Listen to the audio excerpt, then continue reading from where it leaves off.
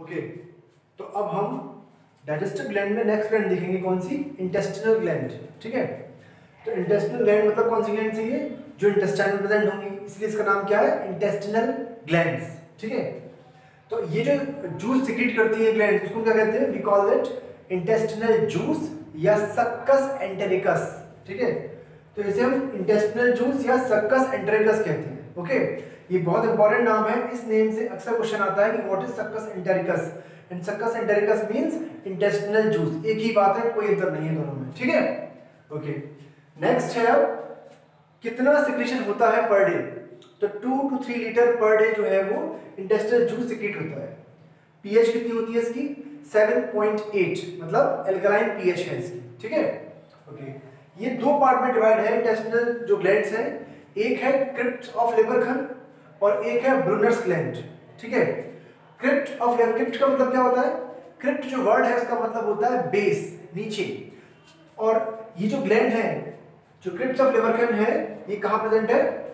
ये देखिए, ये एक विलाई है, ये दूसरी विलाई है। ये दोनों विलाई है, और विलाई के जो बीच में ऐसे ये आ रहा है, ये जो कर्व बन रहा है, ये बेस है विलाई का, एक तरीके से आप कह सकते हो इसको। तो इस बेस में यहाँ पर कुछ सेल्स ऐसी होती हैं जो कि फ़ंक्शन करती हैं ग्लैंड की तरह। और इन्हीं सेल्स को, को टुगेदर हम क्या कहते हैं? एक साथ मिलाकर हम क्या कहते हैं? क्रिप्ट ऑफ़ लिवर खन। ठीक है? तो क्रिप्ट ऑफ़ ये क्रिप्ट ऑफ़ लिवर खन है ये area this area is crypt of Lieberkühn. इस क्रिप्ट ऑफ़ लिवर लिवर खन में कौन कौन सी ग्लैंड प्रेजेंट है? पहले है क्या? एंटेरोसाइट्स तो कुछ सेल यहाँ पर कैसी है? जैसे मान लीजिए मैं यहाँ पर बनाया था उसको। This is enterocyte this is enterocyte ठीक है?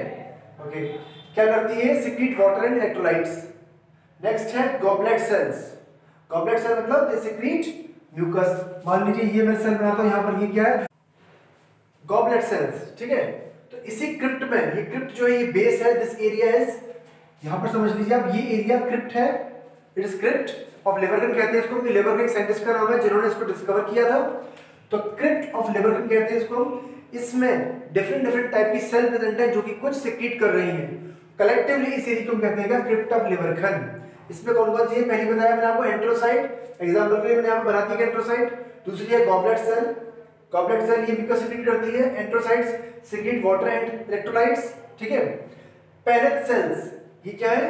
जैसे मैं एक और बनाता हूँ यहाँ पर क्या? दिस इज़ पैलेट सेल ये P this is Paneth cell तो ये क्या है? फाउंड ओनली इन ड्यूडेनम ये सिर्फ़ ड्यूडेनम में मिलेगी, पहली बात तो पैलेट सेल ये इंपॉर्टेंट पॉइंट है।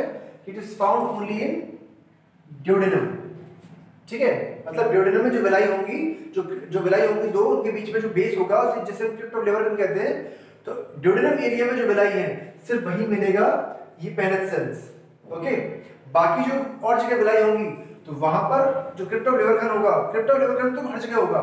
जहाँ भी विलाई है, जैसे ये विलाई है, दूसरी विलाई है, तीसरी विलाई है तो ये क्रिप्ट है एरिया ये दूसरा क्रिप्ट ऑफ़ लेवर है।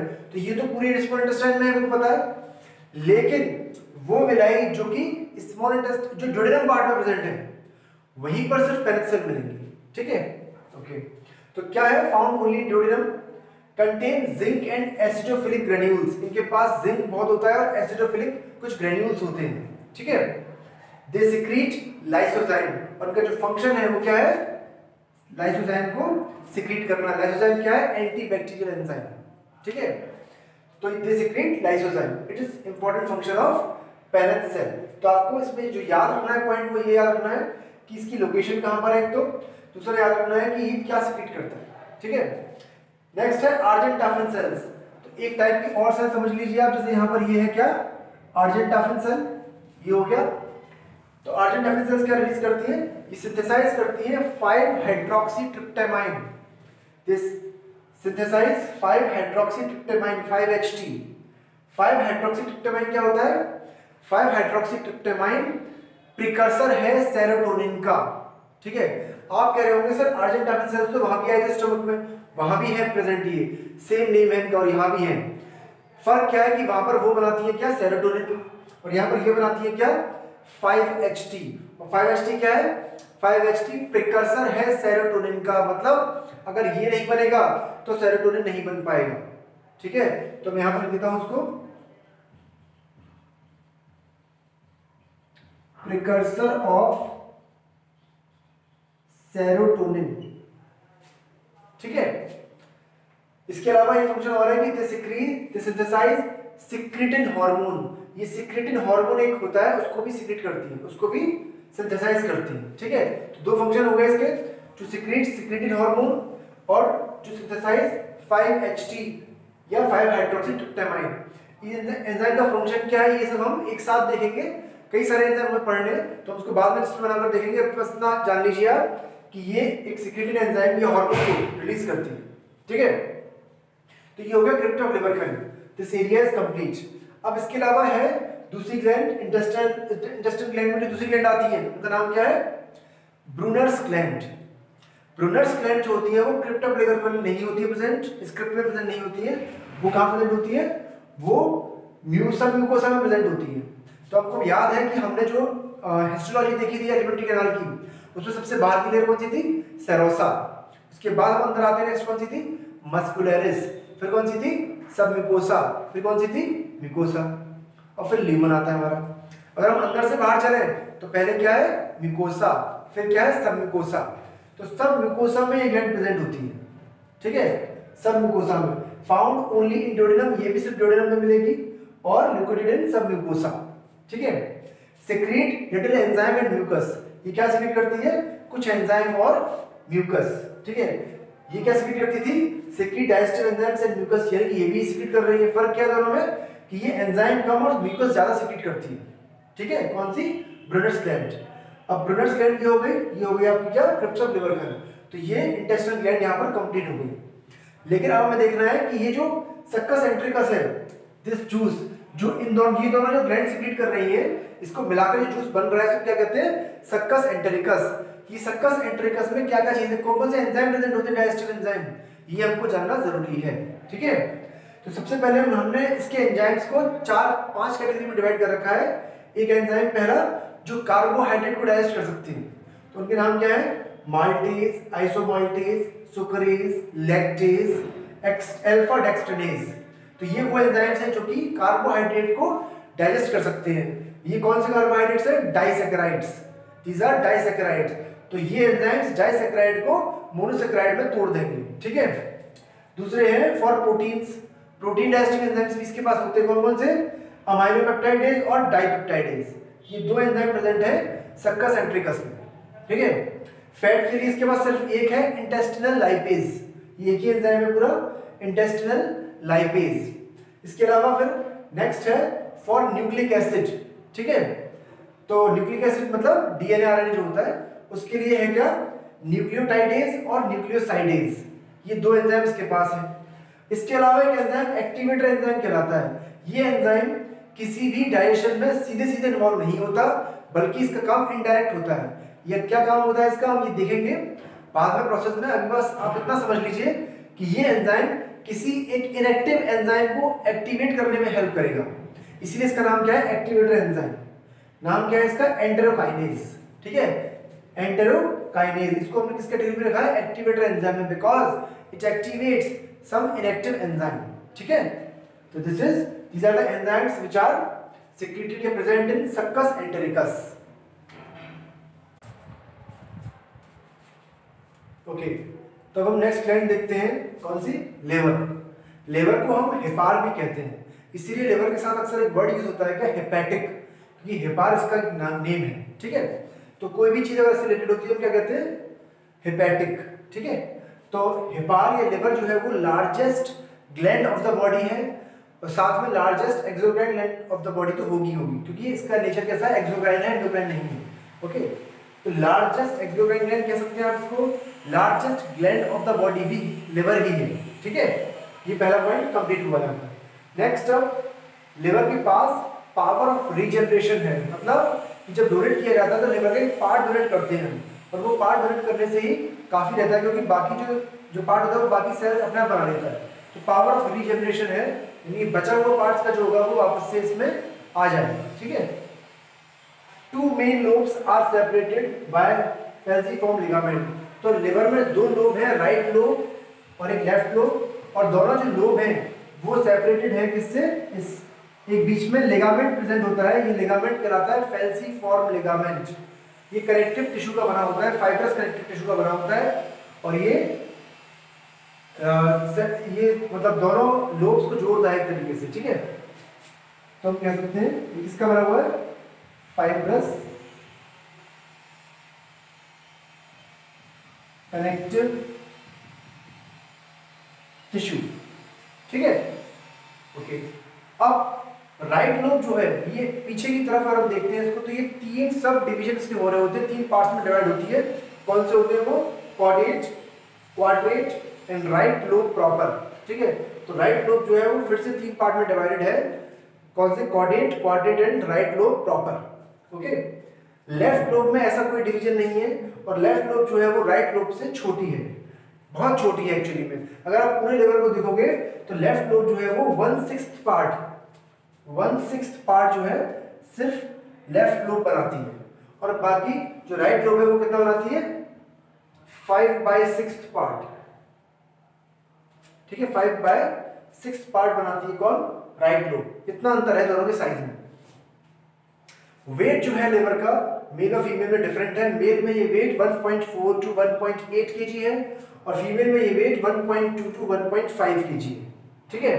तो is the difference in the weight of liver in male and female अच्छा नेक्स्ट है लिवर के अंदर छोटे छोटे कंपार्टमेंट्स बने हुए हैं और कंपार्टमेंट्स को क्या कहते हैं? Hepatic globules hepatic globules liver contain hepatic globules मतलब कंपार्टमेंट्स ठीक है these globules are covered by ये कंपार्टमेंट बनाकर मैंने यहाँ पर दिखाया है ये, और ये जो कंपार्टमेंट होता है it is covered by special connective tissue covered by dense connective tissue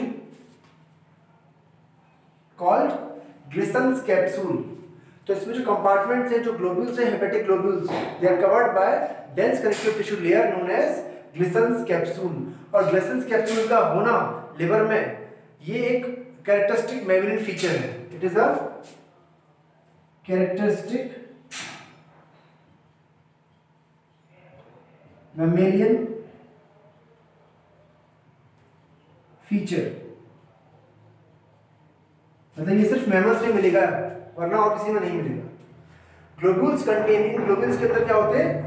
छोटी छोटी सेल्स होती है कॉर्ड फॉर्म में मतलब एक लाइन ऐसी, एक एक कॉर्ड टाइप की होती है, उस फॉर्म में अरेंज होती है सेल्स जैसे यहाँ बना रखी है, ये कॉर्ड है, ये कॉर्ड है, एक ये कॉर्ड है। तो एक कॉर्ड फॉर्म में प्रेजेंट होती है, और ये जो एक एक इसमें सेल है इस कॉर्ड में, वो एक सेल कहलाती है क्या? हेपेटोसाइट जैसे अगर ये की कॉर्ड है दिस इज़ वन कॉर्ड इस कॉर्ड में जो एक सेल है, ये क्या है? हेपेटोसाइट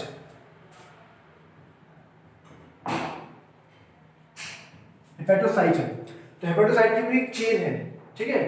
बीच में जो यहाँ पर आपको दिखाई दे रहा है, ये बड़ा सा हिस्सा ये क्या है? इट इज़ हेपेटिक वेन ये हेपेटिक वेन है, ठीक है? ओके तो globules contain hepatocytes in cord form hepatocytes are structural and functional unit of liver और आपसे पूछता है कि लिवर की स्ट्रक्चरल एंड फंक्शनल यूनिट क्या है तो वो क्या है? हेपेटोसाइट क्योंकि ये हेपेटोसाइट्स ही होती हैं जो कि लिवर को सॉरी बाइल जूस को प्रोड्यूस करती हैं, जो बाइल बनाती हैं।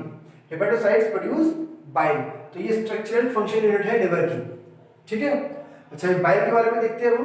जो पीएच है बाइल जूस की, उसकी पीएच कितनी होती है? 8.6 लिवर में। लेकिन जब यही बाइल गॉल ब्लैडर में पहुँचता है तो वहाँ पर इसकी पीएच चेंज हो जाती है, उसकी पीएच 7.6 हो जाती है, ठीक है? बाइल जूस में दो चीज़ें होती हैं बाइल सॉल्ट और बाइल पिगमेंट बाइल सॉल्ट कौन से होते हैं? Sodium taurocholate sodium bicarbonate and sodium glycolate ये तीन इसमें बाइल सॉल्ट होते हैं, जिसकी वजह से कि इसकी जो पीएच है वो एल्कलाइन होती है, ठीक है? बाइल पिगमेंट्स दो बाइल पिगमेंट है इसमें बिलिरुबिन और बिलिवर्डिन ये दो इसमें बाइल पिगमेंट्स प्रेजेंट होते हैं। पर डे बाइल जिसमें सिक्रीशन होता है वो कितना होता है? 500 to 1000 ml 500 to 1000 ml is the per day secretion of bile juice okay? तो ये it's a initial part of the liver इसके बाद हम कुछ और लिवर के बारे में बाकी है, जैसे कि फ़ंक्शन ऑफ़ लिवर है, और इसके अलावा पाथवे बाइल जूस किस तरीके से आगे पहुँचता है इंटेस्टाइन तक, वो हम नेक्स्ट उसमें देखेंगे। ओके तो अब हम स्कीमेटिक रिप्रेजेंटेशन देखते हैं कि किस तरीके से बाइल जूस आगे बढ़ता है, ठीक है? तो हमें पता है कि वो लिवर में बनता है लिवर में कौन बनाता है इसको?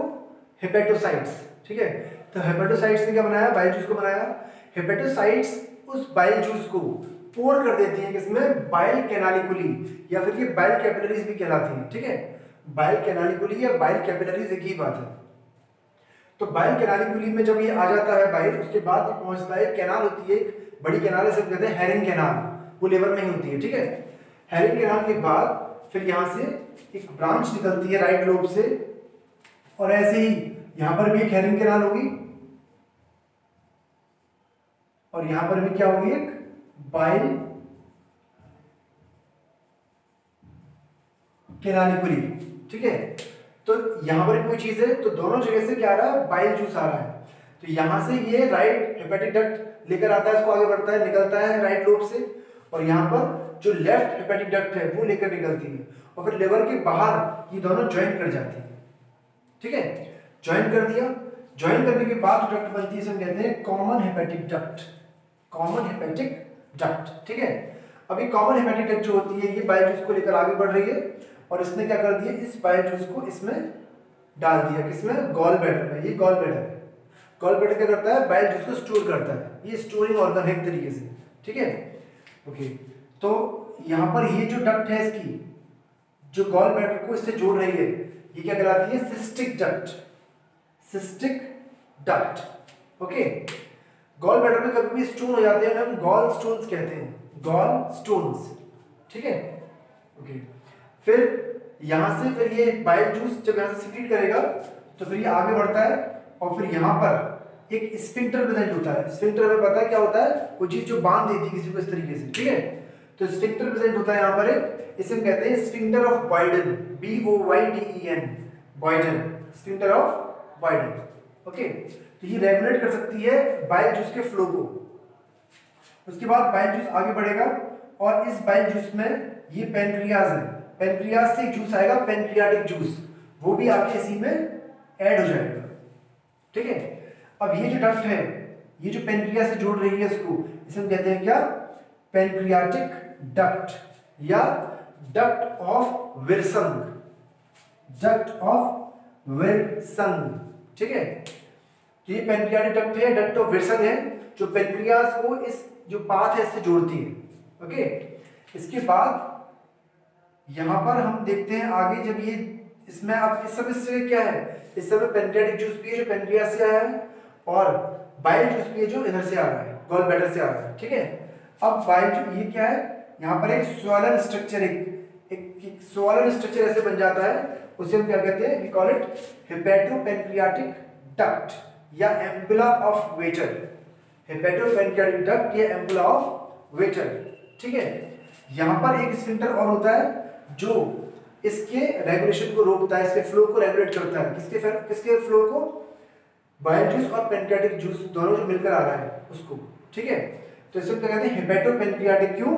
क्योंकि लिवर की तरफ़ से भी आ रहा है बाइल जूस वो सिक्रेशन भी कैरी करता है और पेनक्रियाटिक जूस भी कर रहा है। तो हिपेटोपेनक्रियाटिक डक्ट कहलाती है ठीक है? और ये कहाँ ओपन हो रही है? ओपन इनटू डिओडेनम ये डिओडेनम में ओपन हो रही है। और यहाँ पर जो स्फिंक्टर है जो इसके फ्लो को रोक रहा है या रेगुलेट कर रहा है उसे हम कहते हैं क्या? Sphincter of Oddi sphincter of Oddi ठीक है? अच्छा इसमें एक खास बात यह है कि पेनक्रियास के पास अपनी पर्सनल डक्ट होती है, जो कि सीधे सीधे ड्यूडेनम में पहुँच सकती है, जो इस पाथवे का सहारा नहीं लेती है। ठीक है? It does not take help of this pathway it can send its pancreatic juice pancreas can send its pancreatic juice directly into the duodenum by that duct and that duct is known as duct of Santorini duct of Santorini तो accessory duct है arise from pancreas and opens into duodenum and pours pancreatic juice into the duodenum ठीक है तो ये path हो गया इसके बाद बाइल जूस का फ़ंक्शन क्या है पहला फ़ंक्शन है neutralisation of acid in chyme chyme मैंने आपको बताया था कि जब स्टमक में पार्शियल डाइजेशन हो जाता है फ़ूड का तो वो काइम बन जाता है, फिर जो एंटर करता है ड्यूडेनम में, अब वो काइम कहलाता है, ठीक है? उस काइम में एचसीएल प्रेजेंट है क्योंकि वो स्टमक से आया है। उस एचसीएल का न्यूट्रलाइजेशन होना बहुत ज़रूरी है, उस एच को खत्म होना बहुत ज़रूरी है क्यों? क्योंकि वो इंटेस्टाइन की वॉल को डैमेज कर सकता है, ठीक है? तो neutralisation of H in chyme emulsification मतलब बड़े बड़े जो फैट के ग्लोब्यूल्स हैं like these are fat globules they will be broken down into fat droplets. ये फैट ग्लोब्यूल्स है।